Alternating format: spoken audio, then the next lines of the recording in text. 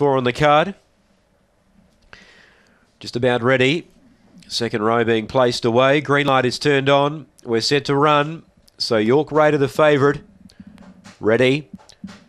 And away, York Raider away fairly well here. He's trying to press over, booting up the inside. Scorch and Lil. Oh, trouble behind the leader. Scorch and Lil left seven in front.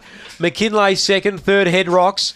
Uh, back behind those, we got Spring Flake. Challenging it was York Raider. Well out of it, Dinah Gabriella, Batman Sloan, and one tailed off as Little Dipper up front. Leader is Scorch and Lil. Head Rocks is charging with McKinlay, but Scorch and Lil defeats McKinlay and Head Rocks. Uh, got away with a big lead, the leader. Fourth placing York Raider. Further back in the field, Spring Flake, Dinah Gabriella, Batman Sloan, and completely tailed off Little Dipper. And the uh, the red's gone around 23-17. Oh, Lux of Fortune. She was left a mile in front. They jammed behind her. She was left with a big lead. She got tired. So McKinlay and Headrocks' runs were pretty good under the circumstances. But Scorch and Lil, she was left seven in front and you don't normally get run down when you're that far in front.